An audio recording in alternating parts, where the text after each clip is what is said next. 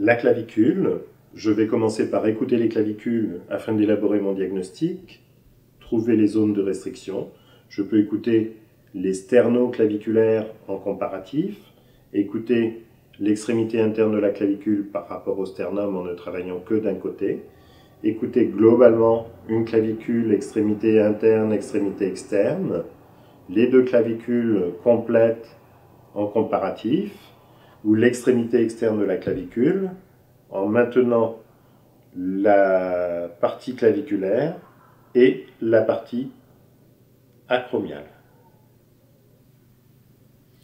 Écoute l'extrémité externe de la clavicule par rapport à l'acromion, articulation acromio-claviculaire.